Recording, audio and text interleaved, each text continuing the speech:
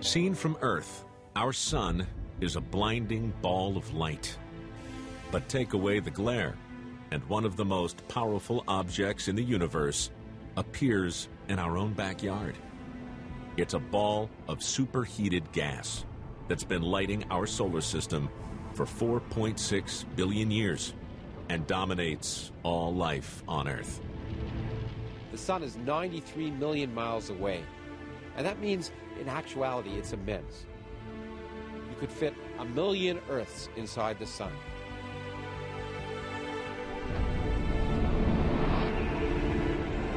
It's nearly a million miles in diameter, yet our sun is tiny compared to the really big stars out there.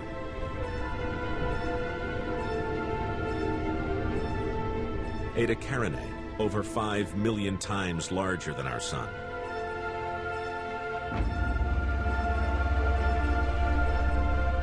Betelgeuse, 300 times larger than Eta Carinae.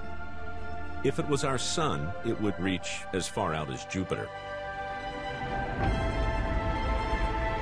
And then there's this monster, VY Canis Majoris, the largest star ever discovered, a billion times bigger than our sun.